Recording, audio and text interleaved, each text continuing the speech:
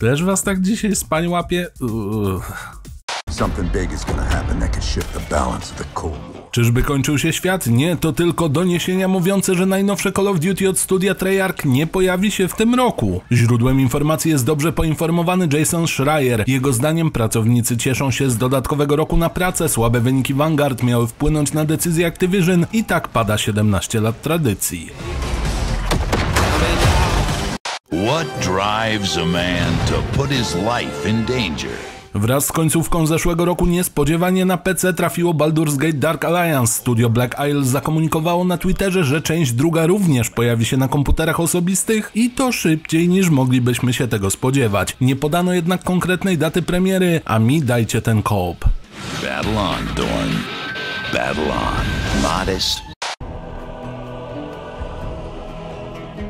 Faraona lubicie? No to będzie się z czego cieszyć, bo to na Steamie wylądowało demo najnowszej wersji, a New Era to remake kultowej strategii sprzed 23 lat i wersja demonstracyjna będzie dostępna do 28 lutego. W niej możemy rozegrać samouczek i 4 misje, warto też zainteresować się pełniakiem w edycji kompletnej.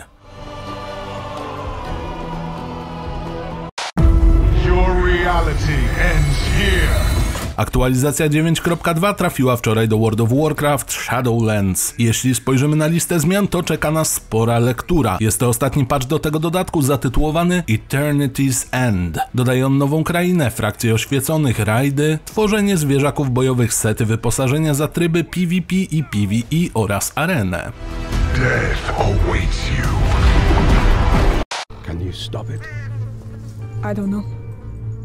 A co do edycji gier, A Plague Tale Requiem właśnie otrzymało oficjalne grafiki prezentujące kolekcjonerskie wydania, spora figurka z bohaterami gry, metalowa brosza, płyta winylowa, litografie i kosmetyki dla postaci. Całość ma kosztować około 760 zł i będzie dostępna wyłącznie w sklepie Focus Home Interactive.